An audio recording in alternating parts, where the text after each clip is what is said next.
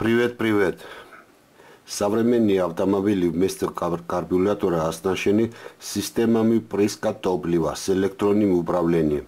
Основной частью такой системы являются топливные инжекторы. Иногда они загрязняются, забиваются или полностью выходят из строя и требуют замены. Сами лучи способ определить неисправность и следить за форсунками – это диагностический сканер, незаменимый вещь купить которого можно очень дешево. И ссылку оставлю ниже под видео в описании.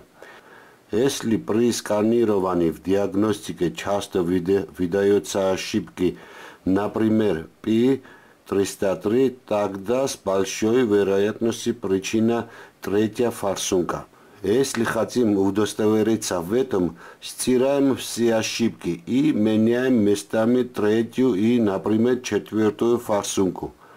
Если после этого ваш диагностический сканер уже начнет выдавать ошибку не в третьем, а в четвертом цилиндре, тогда 100% причина в форсунке.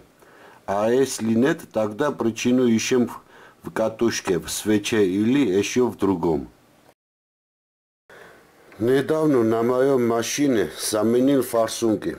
Часто появлялись ошибки пропуски в цилиндрах. Это означало, что первая, третья, четвертая форсунка работала неисправно. А третја фарсунка иногда вообще заклинивало и начинало выливать топливо, Пели тим из глушителя. Об этом есть у меня видео, и кому интересно, ссылку оставлю ниже в описании. Если один или несколько топливных инжекторов выйдет из строя, двигатель вашего автомобиля не сможет нормально функционировать. Неисправный топливный инжектор либо предотвратит распыление топлива в двигателе, либо нарушится интервалы, с которым топливо должен распыляться. В таком случае промывают, чистят форсунки, и это отдельная тема.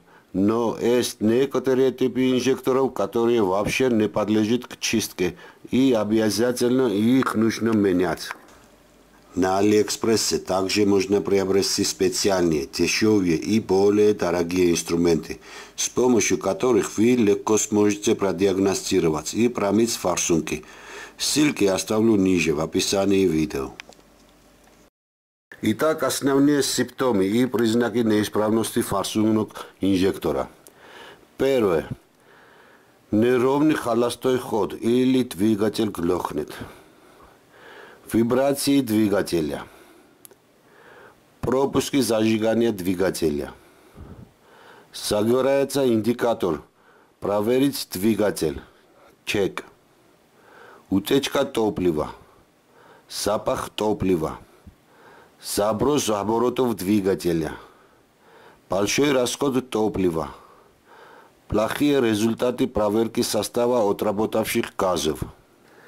Основные причины неисправности топливных форсунок. Первое – это нагар на форсунках. Топливные добавки, которые не распыляются в пускной коллектор, могут оставаться как осадок на топливных форсунках.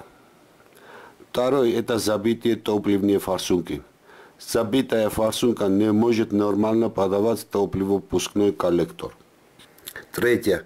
Топливная форсунка не открывается. Клапан топливной форсунки может не открываться в результате неисправных обмоток или из-за коррозии самой форсунки. Обмотки могут перегреться или сломаться, а ржавчина может привести к, к прилипанию клапана. В любом из этих случаев клапан не открывается, и форсунка не может доставить топливо через его соплю. Четвертое. Топливная форсунка не закрывается. Клапан топливной форсунки также не может быть закрыт из-за неисправной пружины, накопления ржавчины или топливных присадок. Если клапан не может правильно закрываться, топливная форсунка начнет протекать. Пятое. Форсунка течет. Сейчас хочу попрощаться, и если информация была для вас полезной, пожалуйста, подпишитесь на канал и вставьте лайк под видео. Спасибо всем за внимание.